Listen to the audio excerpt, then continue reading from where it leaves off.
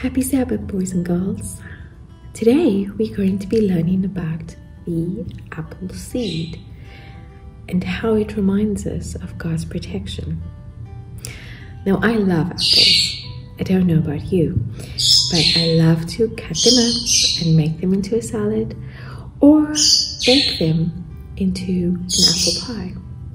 There's so many different ways we can enjoy God's beautiful fruit. Did you know that the apple seed contains poison?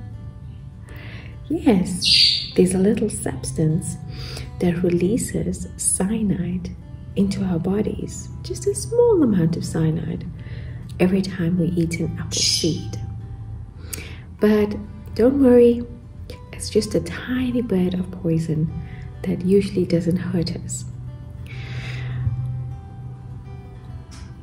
You know, sometimes in life we encounter hard times. Bad things does happen. We may get sick, or someone we love may die, or we may struggle financially. But just like the apple seed, God promises never to give us more than we can bear. If you accidentally swallow an apple seed, it's not going to hurt you because it's no more poison than your body can handle.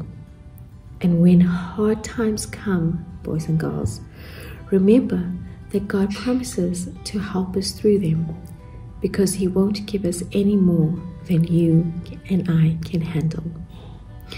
In John 16, verses 33, Jesus reminds His disciples In the world you will have trouble, but be of good cheer for I have overcome the world.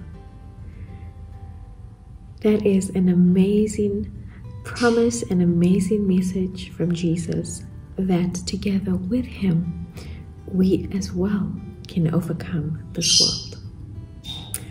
Have a good day, boys and girls. Bye.